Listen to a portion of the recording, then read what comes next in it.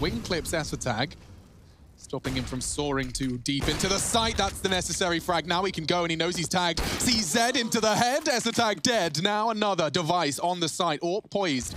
Incendiary blocking his exit. Only a Tech 9 to keep him company. And Glaive, oh, that smoke's Oh, a bit of a gift. Just climbed over his head. He must know he's there.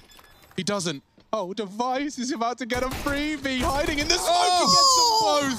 Astralis gifted the double kill from Device, using the smoke to his advantage. Round over. 16 found, just a little bit too late. Oof, all right, Astralis finally posting another round on the board for their T side here, and what a big one to do it in. That was an opening from dupreeh onto Gutsy. Boombl4. That's how it all started then, Device. What's he gonna do? Just, hello, uh, I'm chilling. That's a weird. Yeah, why, Step? why did I get stuck there? I don't hmm. know. Well, this is why. Device through the smoke.